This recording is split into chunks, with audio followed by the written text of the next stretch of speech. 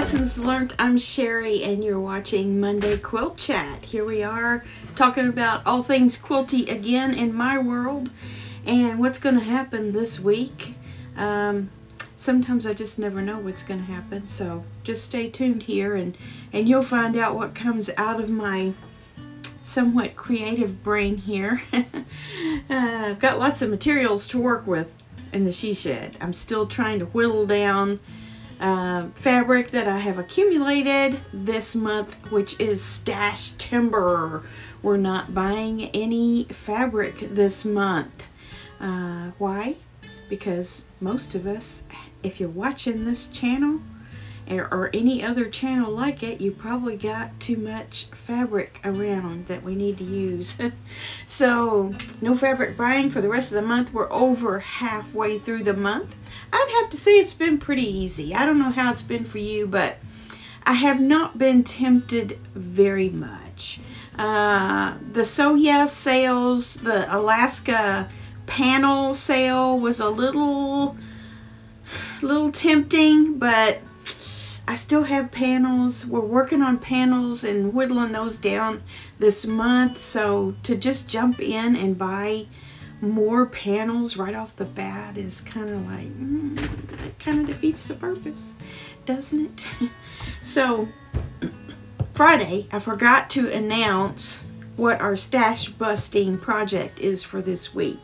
So uh, I have that for you. We are going to make a very simple four patch a baby blanket with our stash.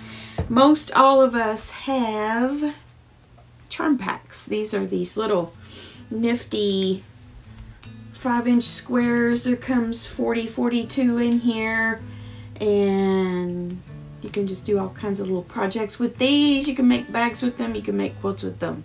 Whatever. This happens to be a 30s Playtime Chloe's Closet by Moda. I don't know how old this is. Uh, I've probably had it for more than a year, I'd say.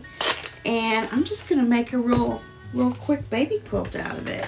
And if you don't have a need for a baby quilt, just hang on to it. Sooner or later, you will need a baby quilt.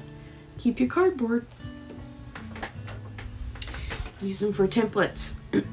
so this is kind of, you know, the 1930s kiddo material so it'll make a super cute little um, baby blanket. And I am going to use this red fabric. I've already cut up five inch squares one in between each of these. Our four patches will have two reds and two of these. So you can just do them random. I'm gonna use all but two of these so I don't know if I need to pick out now which two I don't want. Or maybe I'll just, I don't know. I don't know. I'll just have to kind of go along and set some aside that I'm not sure about. And then at the end, I should have two left over that I don't want. This fabric, uh, I got like an end of bolt on this or something. Uh, it is called, it's from Riley Blake. It's called Land of Liberty by My Mind's Eye. So it was probably some kind of, I don't know, red, white, and blue line. But I only have this. It's just a little red cute flower. So I thought that would go good with this 30s Playtime Chloe's Closet little charm pack. So all we're to do is cut 40 of these. You need five strips of width of fabric that are five inches and then cut that those strips down to five inches. So you need approximately three quarters of an inch. It's technically 25 inches, but three fourths of a yard is 27 inches. So cut off a 27 inch hunk or look for a 27 inch hunk in your stash and use that for this. Grab one of your charm packs laying around and then we're just going to make some four patches. And I might actually just sit and do that while I'm talking to you here. Uh, I'm just going to whip this out um, right quick and show you what I'm doing. I probably won't get it done by the end of this video, obviously, but I can uh, give you an idea of how things are going to go together. Very simple, very easy, very mindless, fun, not brain challenging, uh, very beginner friendly. So what I did is I put my quarter inch seam on there and I finger pressed it. So you don't have to stop and press every time if you don't want to. So I have a, a double here. I'm going to lay this aside and then go on to my next one and put those together.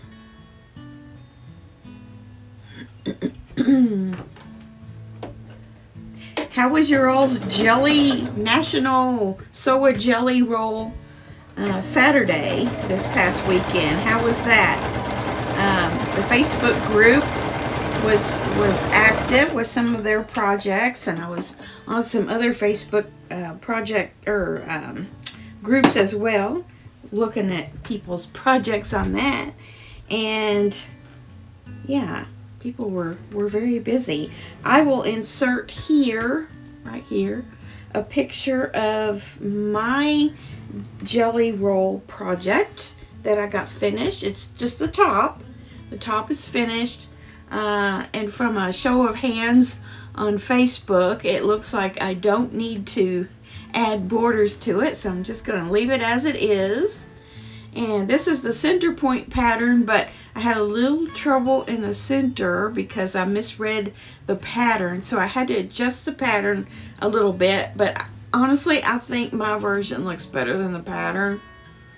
I mean, maybe not all would agree with that, but I like mine better. so now I have two of these, and I finger press those open. So all I want to do is put those red ones opposite of each other. So you can stick a pin in here on your, I almost always open my seams unless I'm following a pattern that wants you to press to one side. You certainly can press to one side if you want. This would totally work with pressing to one side. Just press to your red ones or your, your fabric that you chose to cut. Just press toward all of them towards that because uh, in the end they will all nest but I'll, I tend to uh, press open anyway and this allows me to go ahead and keep going as well because I can finger press them open without stopping and pressing to one side so I'm going to go ahead and make this four patch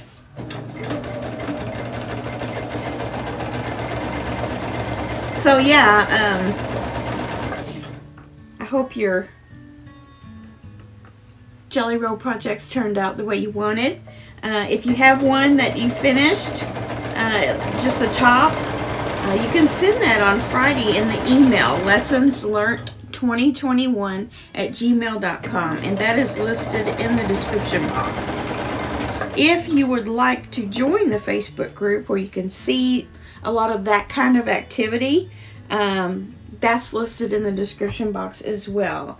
If you've never been on Facebook, just download the Facebook app and then just go out there and search on groups and put in lessons learned and it's a public uh, group and you can just get right on in there and start seeing things. There's our first four patch. So you're going to make 16 of these make 16 of these and they'll go four by four four by four yes I kind of drew a little picture first. This is my little picture. So they are four patches four four patches about four four patches. So that will be actually uh, without the seam allowances it'll be 40 inches by 40 inches. So all I have to do now is just keep going. There's one with little spools and cross stitch on it. Isn't that cute? And you don't have to really think about which side you're putting them on because you can twist and turn them around once you're all done. and arrange them however you want.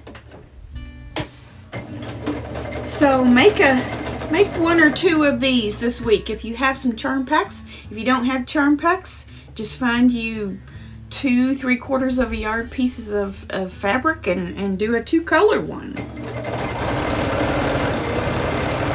This is also a good size for a um, table topper if you want a table topper. And I'll tell you what inspired me to do this was one of the finishes last Friday. One of our viewers sent in that um, yellow and black and gray um, patchwork quilt like this. And I don't know if her, her squares were five inches, but I have a feeling they were. They may have been a little smaller. Um, but yeah, that that uh, that is what made me think to to do this because it's a quick uh, way to pump out stuff. You know, we've been doing the notebook covers, we've been doing the pillowcases. I'm still working on mine. I don't know about you. Um, but this also is something you can just pump out two or three baby quilts real quick or some table toppers table runners. You can make uh, several table runners out of a charm pack. You can make these four patches and lay them end to end, maybe four four patches. Put a little border around the edge, maybe miter the corners, um, and make that would make cute gifts too. We have such beautiful fabric. We don't really have to have a whole bunch of complicated pattern pieces each time, you know. I love to work with patterns. I love working with uh, even difficult patterns, but uh, it doesn't have to be that way. Uh, good old patchwork is is where it's at. Patchwork and straight line stitching. Why not? That's how it all started out, isn't it? So I don't mind doing that at all. And at least now we don't have to do it by hand. we can use our sewing machines to do it all. Love that.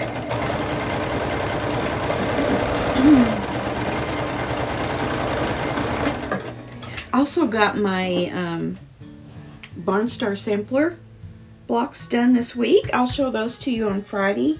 Uh, I did show you one on Friday this past week. I had one done. I got the other one done. So that's done for the month. Uh, unfortunately, I did not get into the happy days yet again this week. So it was just, you know, I just have to be in a certain mood to do that. It's kind of like the duster, you know. And I have to be honest about the duster. The duster will happen. But I'm hoping, and I had to be perfectly honest about this, I was kind of hoping maybe I would lose a little more weight before I put that together. Um, it just pains me to think that maybe I would make that up and put all that effort and then it would be too small. And I'm not one to do a lot of um, custom stuff. I mean, I can take in a seam and put in a dart where I need to, but adjusting sleeves and shoulders and collars I've never been really good at that. It's most of the clothing that I have made, and I've made a lot of clothing, I've been able to get a pattern, my size, make it, and wear it. And there have been times where I've done that very thing and it didn't fit. So this one kind of pains me because, you know, Tula pink fabric, um, an expensive pattern, uh, the time involved already with it. So, besides the fact that we're going into fall and winter and I don't need a spring coat yet, is detaining me. And also the fact that I would really like to lose a little more weight right about when I get that done so that when I finish it, I can show me in it. Is that too much to ask? Am I too vain? Probably. But here's another four patch. See how these go together so fast? I don't know. I will get back to that. I will get back to it. I know that I will. Um, but what was I talking about? Oh, the happy days. Oh my. You know, ever since I messed up my um what is that? Teflon sheet. Ever since I messed that up, I've been like not wanting to mess with that sticky applique stuff.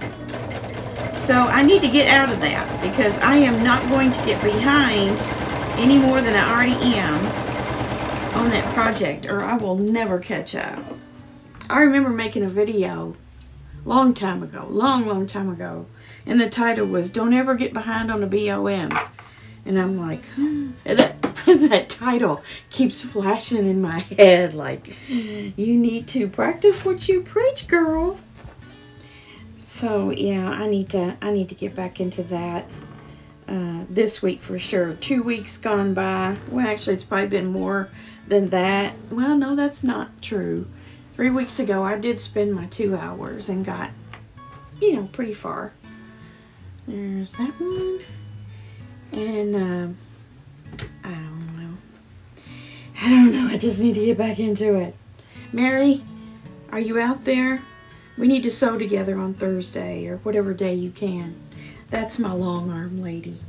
Speaking of which, Mary is called Broken Dishes Quilt Company.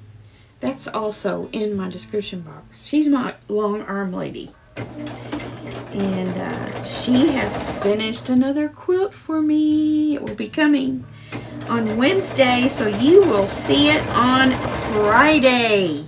Yes. Guess which one it is. Some of you that have been around for a while you're going to remember that I did, uh, Pat Sloan had her block a day in March. But you know, I don't think it was this past March that I did it. I think it was last year. I think it was 2022 March. It was because I did that black and white one for for this year. So, yeah. That's that's what's coming back. The green beans. Remember green beans?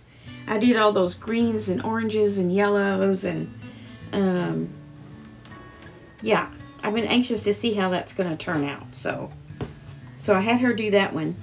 And then I think the next one that she's going to do is the Vintage Mystery Block that we did the sew along with last last year. Yeah. Yeah. That's next. So you'll be seeing green beans on Friday. Speaking of Pat Sloan, she's getting ready to do uh, Block Wednesday, a new one this week, the 20th. Pretty sure it's the 20th. And I think I showed you all, this is the pattern, Autumn Wonders. So that's coming up. And I've got a fat quarter bundle over there that I'm going to use for that. So I'm kind of excited to get that started. That'll be a, an easy one block a week thing to do. Let me know in the comments if you're going to do that one with her as well. Um, she has a website called um, I love to make quilts.com. You can go there and, and get that, that free pattern. And then each week where these blank spots are, these blank, the white squares. She'll give a new pattern each week and you go on there and you can either do it directly from your device and make the block or you can print it out. So, yeah, that's what's coming up. Um, here's another one.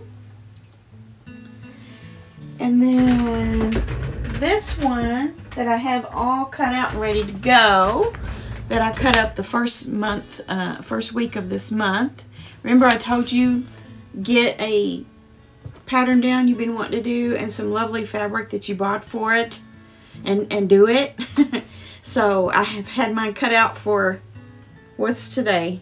The 18th. I've had it cut down, cut out for 18 days. I have yet to start sewing. So that's going on my list this week for sure. Yep, it is. I love these yellows. Look at that. Here's one with cherries. So cute. This will make a really cute blanket for for a child or baby baby shower. I think I might make one up in a in this baby stuff, this ch uh, child's fabric, and also one for a table topper. Last year I made a fall table topper, which I'm using again, but I think I want to make something more something a little more dramatic, something a little more adult. So I'll make a kid one like this, and then I'll make an adult one like this. Adult as in grown up. Okay, so here's another little, this one has pink in it, but I think it'll be okay in this quilt, or will it? I also have purple too, and that doesn't always really go well with red.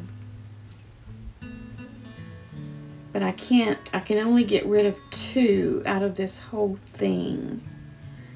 So, yeah, I better use this one. I'll show you here in a second when I get this done. I tell you what, this allergy thing that I've had is just hanging on. I still cough. I still clear my throat. I still have itchy ears. Um, I think it's ragweed. Ragweed, according to the local news, has been terrible here this year.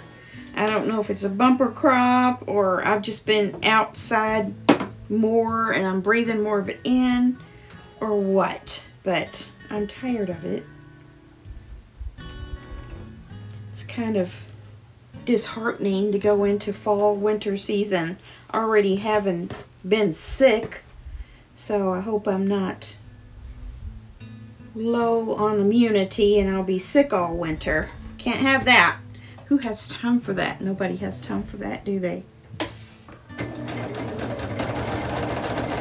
Oh I wanted to mention that um, we're only less than a hundred away from 10,000 subscribers. So um, we're going to be having some celebrations, giveaways, merchandise for that coming up really soon. So keep on the watch if you can if you're watching this video right now and, and you haven't subscribed and you see the word subscribe anywhere on your screen, touch it and then also hit the little bell that says all and you will never miss a video. And although,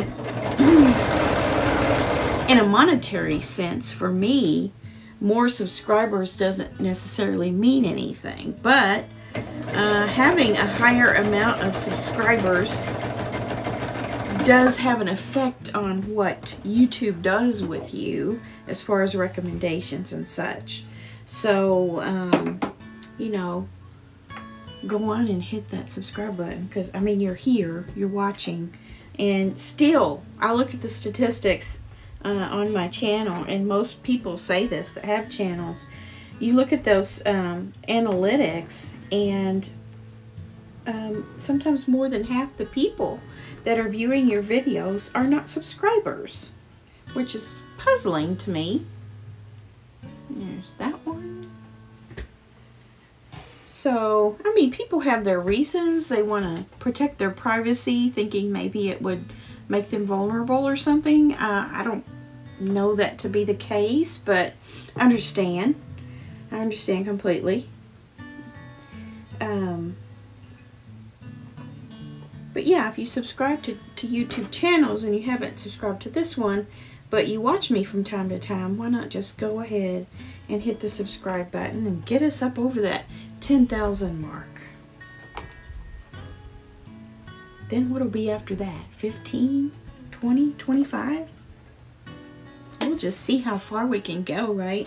And also wanted to mention that the Facebook group is up over, it is right at this moment. I saw it maybe a couple hours ago. I have 475 in there. So any of you that aren't on the Facebook group and would like to be, I guess I've already mentioned that once, haven't I?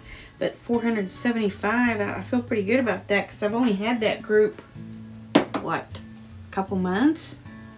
I'm not even sure when I started it, but doesn't feel like it's been that long. Of course, my sense of time is probably not very accurate. As you get older, it kind of goes away. Let's see, should I put that purple with that one? Or should I separate those out? I think I should keep that together. You ever talk to yourself while you're sewing and kind of reason out what in the world you're doing? I have to. I mean, technically I'm talking to you right now, but this is in the past. I'm coming to you from the past. The weather has been so nice here. I hope it's been good where you are. We've had a little bit of a early fall feeling to the last few days of, of summer here. And that's always nice. Um, I think I mentioned the other day that uh, we've been preparing a rental house that we have for sale. And it needed quite a bit done to it because the people that had lived there had been there for a while. So the exterior hadn't been painted for 10 years because that's how long we've had it. And so uh, Mark has been painting the outside of the house. And we painted it a little bit of a lighter color. It was sort of a grayish green before. And so we decided to go kind of a stone color. It's a it's a white really, but it's called stony or something like that. Um, so we had to paint two coats. And then we're putting some black trim on it uh, under the window seals and uh, just making it look nice again so that we can put it on the market. Um, so he's been busy with that and sometimes I have to help with things on that front. So this past week has been a little a little cluttered in my mind and in my schedule and things like that. So this one, it has kind of two lights, but there's a light one that has all the colors pastel and then this I don't know how that's going to come out but we're just going to go with it there's going to be another one like that here this one has dots and this one has leaves but we're going to go with it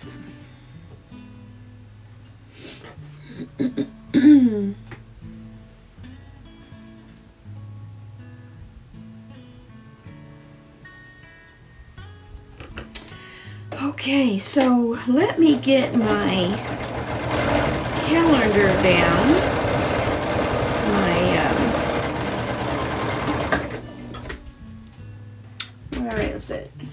Here it is.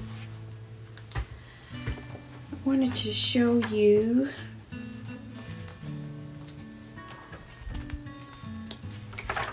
the picture for this week I'll put a picture up here so you can look at it while I'm reading about it. It's called Berries and Geese, 69 by 69. It's by Linda Lyle of Erwin, Tennessee. A class with Sue Garman on needle turn applique inspired Linda to make Sue's basket blocks. Selecting the fabrics and placement of the colors is the most enjoyable experience for Linda. Many of the fabrics were Kaffe Fassett designs. She double bordered the piece with her favorite machine piece designs and then completed, completed completed, there's a typo in here, and then completed the wall quilt with extensive hand quilting. It was a prize winner at a mountain quilt fest in Pigeon Forge, Tennessee. So wow, all that applique there in the center beautiful. And then the, um, all those flying geese and the Kaffe fabrics that she used, as well as the cornerstones are stars. I think that's an Ohio star, isn't it? And then that, that border is kind of in a French braid configuration. Beautiful. I tell you, you make any quilt out of Kaffe Fassett and it's going to be a winner. Very pretty. Lots and lots of work and all that quilting on there. Tiny, tiny quilting there in the center especially. So that's the quilt of the week. And while I'm here, I might as well put in here what I'm doing. Uh, let's see. Wednesday, we're going to have another panel uh, video. Um, yeah, I think I'm going to do the... Hold on, let me get it. I'm going to do the State Park one. So, state park I have is the Great Smoky Mountains. I showed this to you earlier in the month. Try to show you the top too. There it is. And it's interesting that this um, quilt that I just showed you in the uh, planner she uh, won a prize for it and in Pigeon Forge, Tennessee, which is where this is. Well, Pigeon Forge is just outside of Great Smoky Mountains, but it's all there together. So, one of my favorite places in the world. So I'm going to be putting an interesting border around this. So if you have a, a national park panel like this, th these are from Riley Blake National Parks by Anderson Design Group. So if you have one of those, then whatever I'm going to do is going to work for your panel. This is big. This is, uh, I want to say it's 34. 34 or 36 wide. So if you have one of those, then you'll have an idea ready to do something with it. With a cool border. Okay, so I'm going to work on that Monday and Tuesday. So that's called the panel project.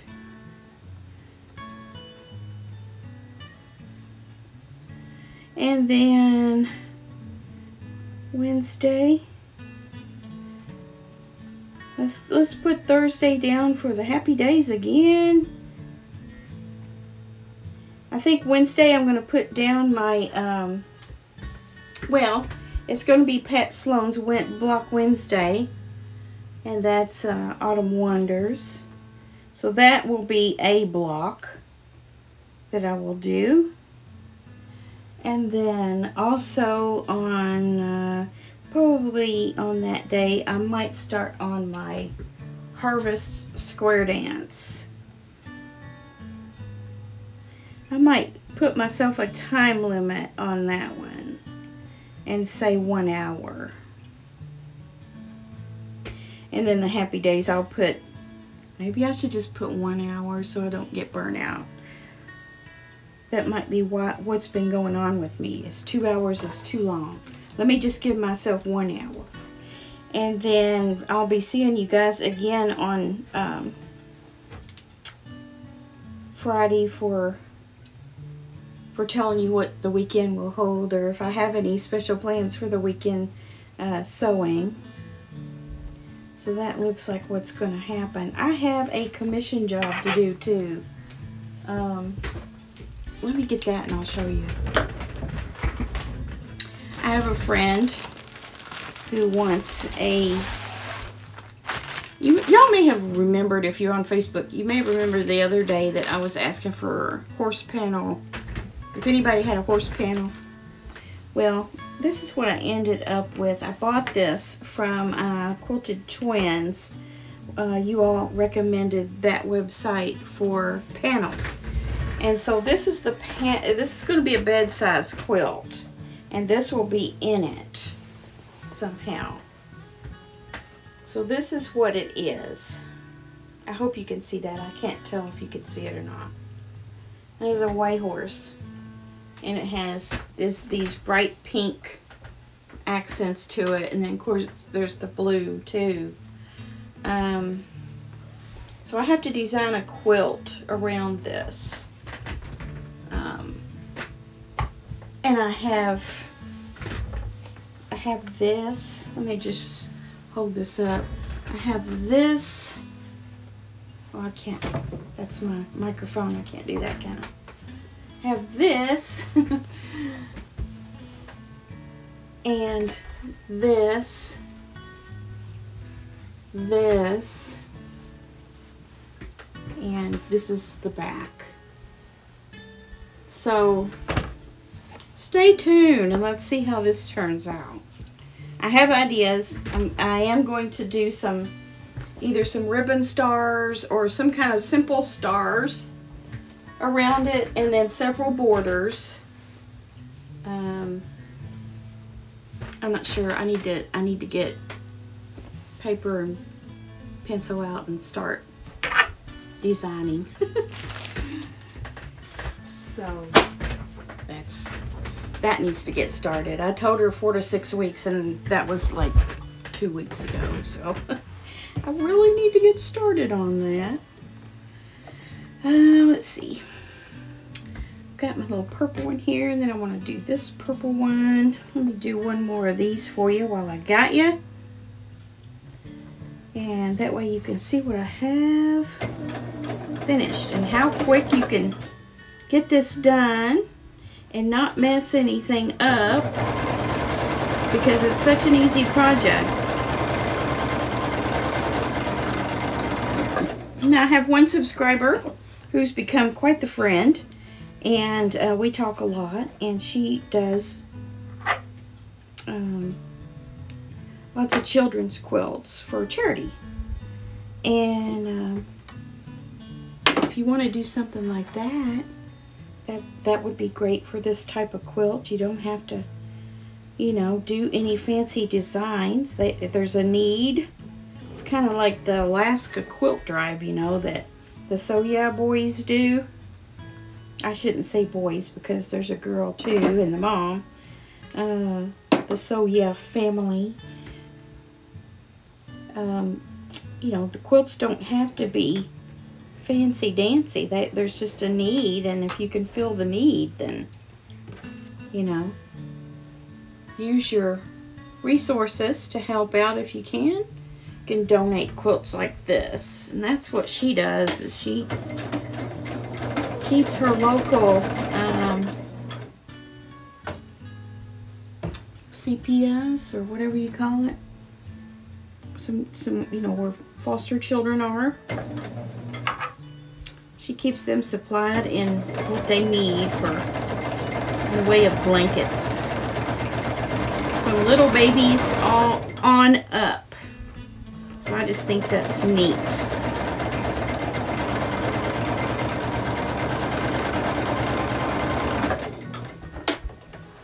Okay, we got one more here.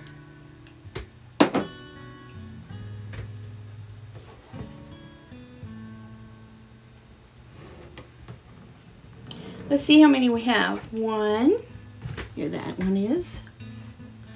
One, two, three, four, that's one whole row. Five, six. So I need to make 10 more of those and I've got myself a baby quilt. So get in there in your stashes, pull out your charm packs or cut yourself up some charm packs. You can do that with your scraps too. Just make a bunch of five inch squares. You need uh, 40 of your prints and then 40 of your main color. So that's what I'm to do. I'm to finish this up here and, and be done with it. And maybe you'll see this on Friday too. Pretty good chance. Alright, so I hope you have a great, great week and you can get some things done in your sewing room. And I will see you back here on Friday for the panel video and then back again on Friday for Finish It Friday where you will see my finishes and yours. And so, have a great week, and we'll see you soon. Bye.